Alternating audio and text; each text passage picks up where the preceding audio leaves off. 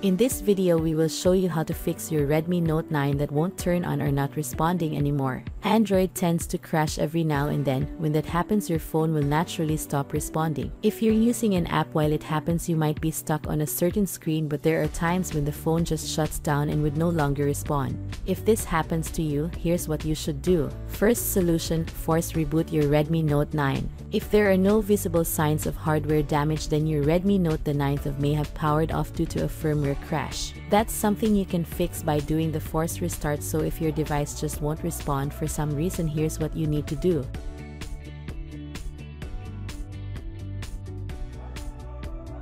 Press and hold the power key for 10 seconds or more. This will trigger it to boot up. When the logo shows, release the power key and allow the device to continue the boot process uninterrupted. Most of the time this is the only thing you need to do to make a phone respond again however if this procedure fails then move on to the next solution.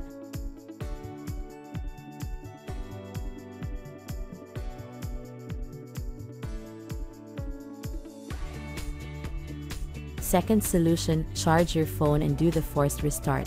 If your Redmi Note 9 failed to respond after doing the first solution, then what you have to do next is charge it and do the forced reboot while it's charging. It's possible that the battery was drained and the firmware crashed just before the device powered off. So here's what you should do. Plug the charger to a working wall outlet. Connect your phone to the charger using the appropriate cable. Regardless of whether your Note 9 shows the charging sign or not, leave it connected to the charger for at least 5 minutes. Now while the device is still connected to the charger, press and hold the power key for 10 seconds or more.